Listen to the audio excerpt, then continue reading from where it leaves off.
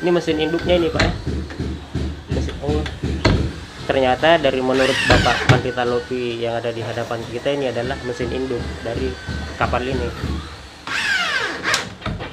Dia menggunakan mesin baru jadi tidak menggunakan eh, yang biasanya dari mesin mobil dimodifikasi menjadi mesin kapal. Ini adalah udah benar-benar eh, mesin baru. Luar biasa dan harganya pasti sangat mahal. Oke kita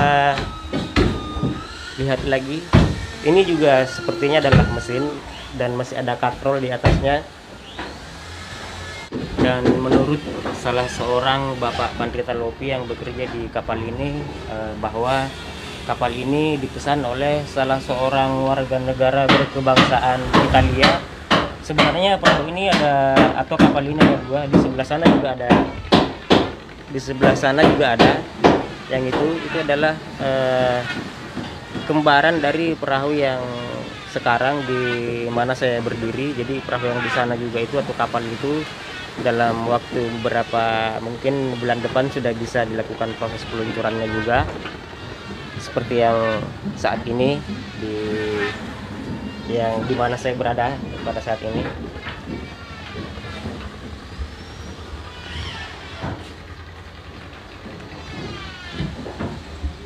Oke, coba kita masuk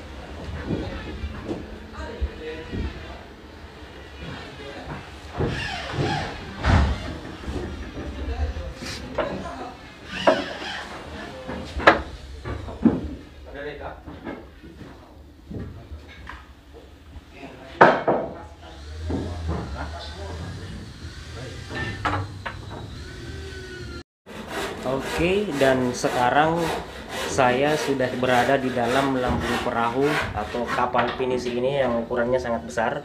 Di sini terlihat beberapa ruangan. Agak seperti pada umumnya di sebuah kapal atau perahu itu ada sebuah lorong seperti ini yang menandakan di kanan dan kirinya itu adalah sebuah kamar. Jadi di sini pun eh, situasinya seperti itu dan masih dilakukan proses pengerjaan oleh eh, salah seorang bapak pandita lopi yang ada di sini. Kemudian di dalam ruangan juga ada, masih ada juga yang eh, proses finishing. Karena ruangan di sini cukup gelap, jadi harus dinyalakan lampu seperti ini. Dan arah belakang itu atau arah buritan itu adalah eh, engine room atau kamar mesin dari kapal ini sayangnya saya tidak bisa turun ke sana karena uh, susah untuk untuk turun ke sana. Jadi cukup kita sampai di sini saja melihat situasi yang ada di sini. Dan bagian depannya ada di sana ada sejenis store atau tempat uh, penyimpanan barang uh, katakanlah seperti itu. Ini di bagian depan.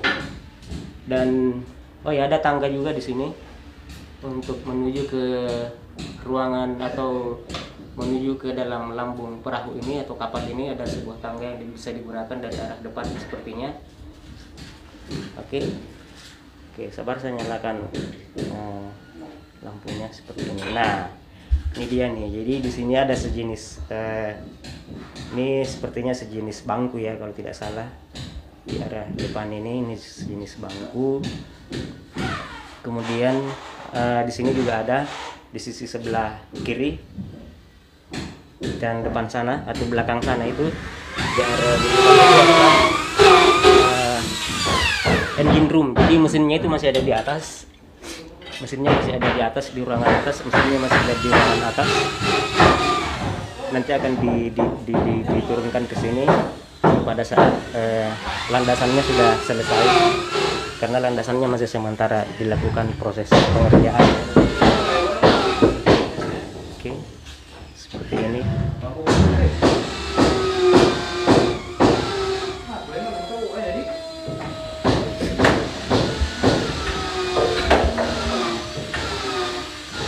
dan ini adalah kamar mesin dari pinisi yang ukurannya sangat besar. Sekali lihat buritannya itu ada di ujung sana ada di ujung sana. Oke. Kita kita coba turun ke sana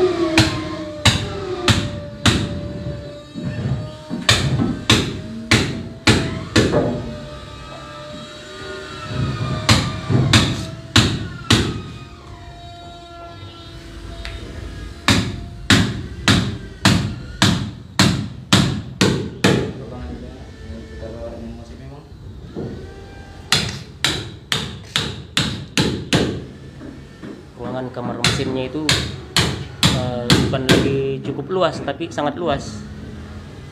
Mungkin kalau tidak salah kurang lebih ini dari ujung sini sampai ini dari sisi sebelah kanan sampai ke sisi sebelah kiri itu kemungkinan kurang lebih 8 meter ya kalau tidak salah.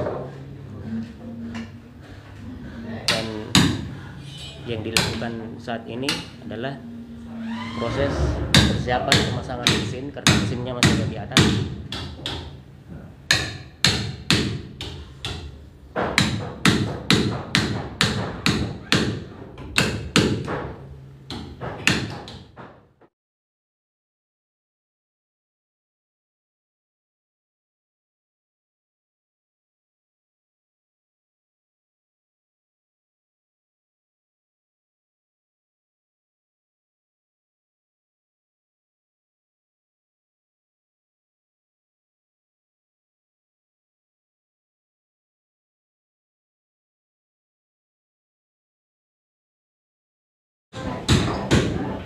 Oke, kita kembali ke atas.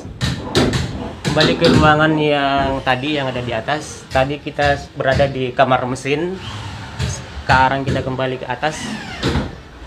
Ya, saya perlihatkan lagi ya mesin yang digunakan itu. Nah, itu adalah mesin yang akan digunakan kapal ini. Mesin merek Yanmar. Oke, kita kembali keluar melalui melalui pintu yang ada di sini dengan sangat berhati-hati.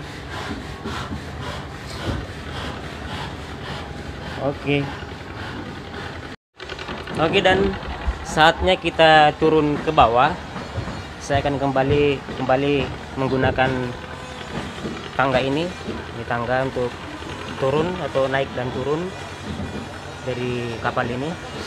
Oke. Kita turun secara perlahan. Bismillahirrahmanirrahim.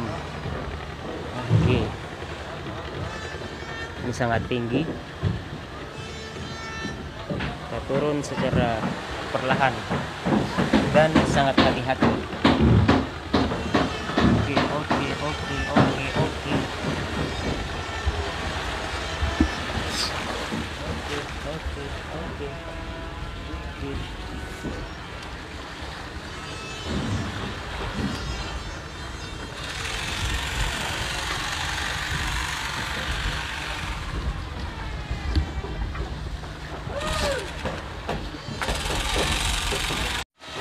Oke, demikian tur kita kali ini ke kapal pinisi yang dipersiapkan dibuat dengan sangat megah.